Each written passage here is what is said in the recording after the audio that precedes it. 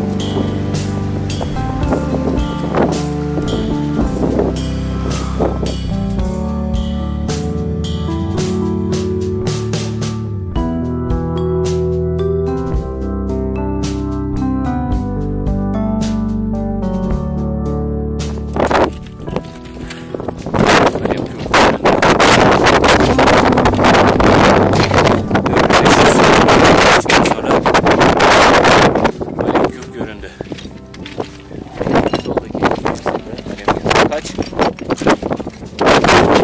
4605. 200 metre. 4605. 4600 metreye gelince Alemkuk görünüyor.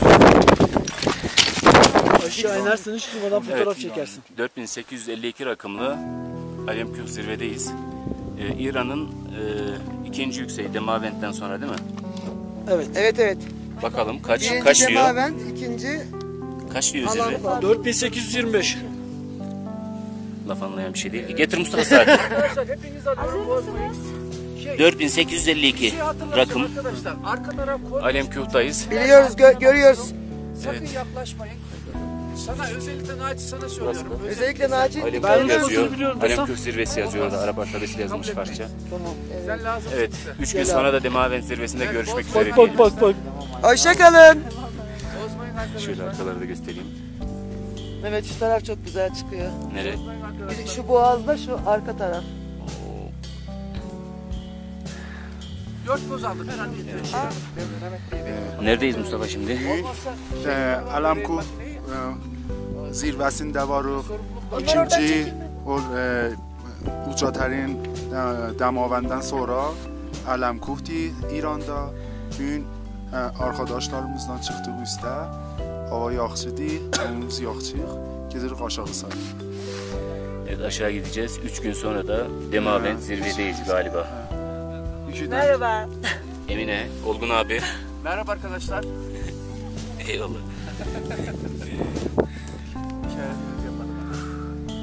Çok güzel bir şeymiş bu ya. Aparat. Güle güle kullan. Sağ olasın abi. Önümüzdeki buzulun altında devasa bir nehir var. Ama buraya e, gram ses duyulmuyor. Çok ilginç bir yalıtım olmuş. Aşağıdan da nehir akıyor zaten. Seferde geliyor böyle işte.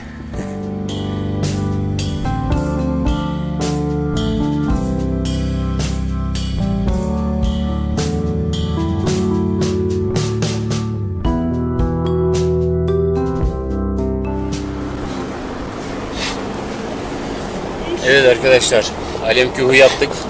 Gidiyoruz. Rehberimiz Mustafa da yanımızda. Mustafa Rastat. Teşekkür ederiz Mustafa. Güzel bir zirve günü oldu. Sağ olasın. Böyle e, İran'ın güzel coğrafyasında. Onu demeyelim bence. yani ikramına doğru.